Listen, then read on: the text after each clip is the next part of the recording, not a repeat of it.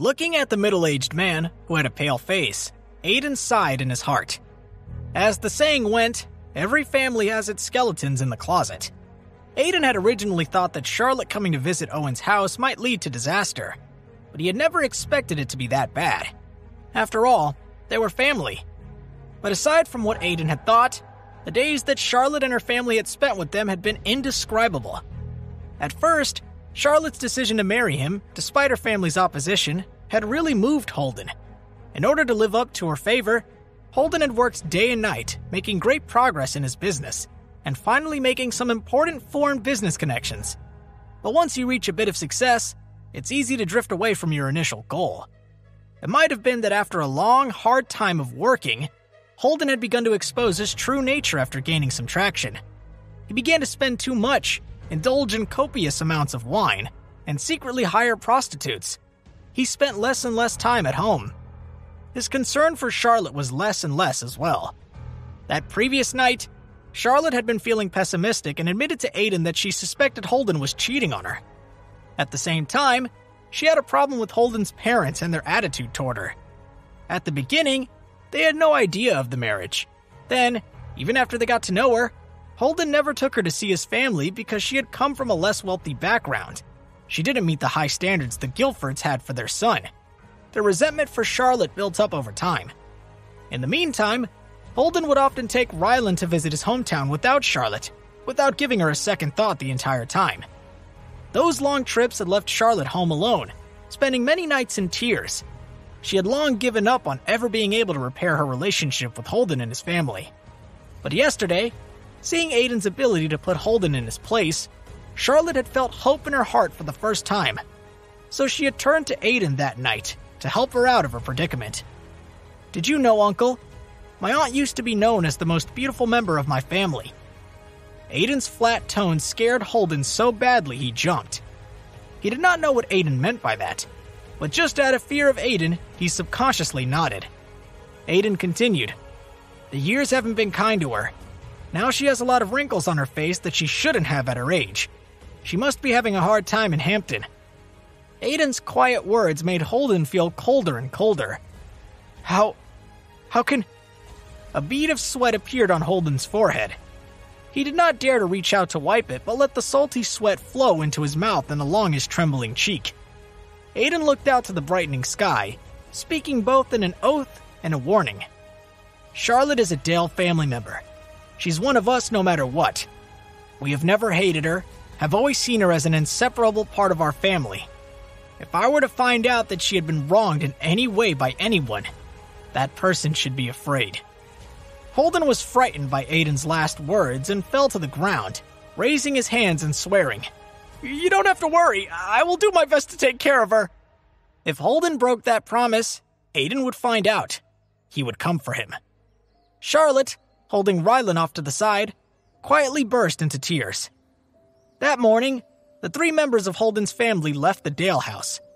However, Holden's attitude towards Charlotte had already undergone a 180 degree change. As they left, Charlotte nodded slightly to Aiden in gratitude. Aiden smiled back, happy to see his aunt, in a way, reborn. Rylan leaned out of the car window and said with a smile, Cousin, you must remember to visit me in Hampton. I still want to learn from you how to speak to Pinecone. Aiden smiled and nodded silently. Under the sunlight, accompanied by Pinecone's unruly wolves, the blue Passat slowly drove away from Langley. Gradually, all the other guests and visitors also left Langley one after another. Finally, the family's relationship with Owen relaxed. Aiden had wanted to stay in Langley for more days, but Owen himself convinced him to leave. Aiden knew that although Owen liked this kind of family happiness, he was reluctant to see his youthful family waste their time in Langley.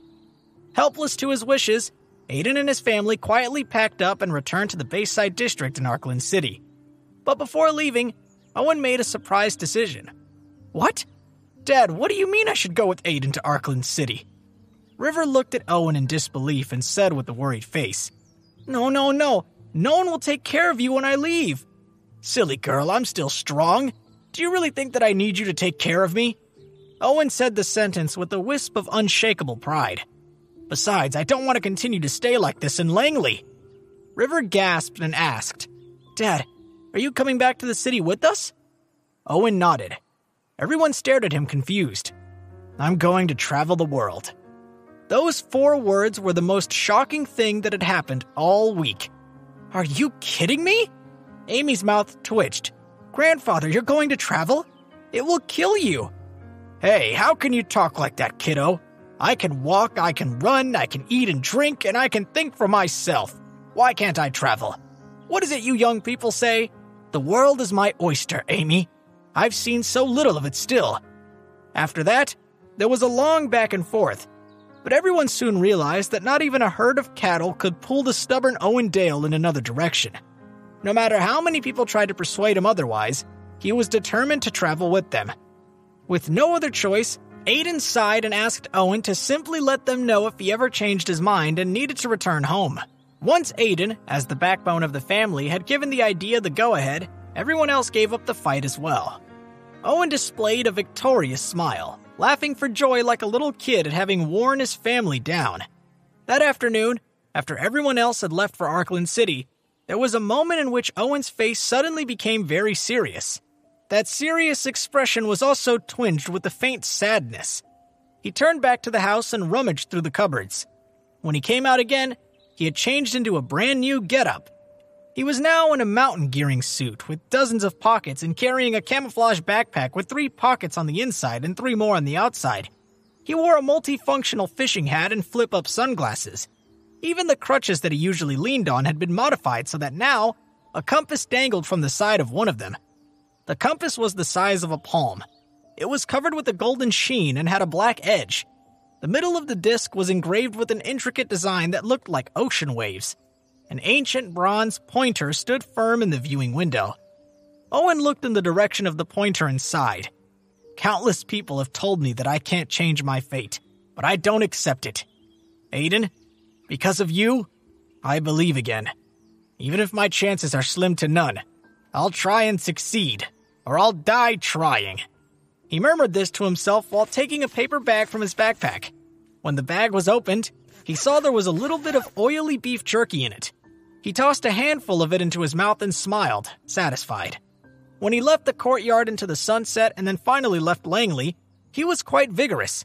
There was not a trace of his age in his step.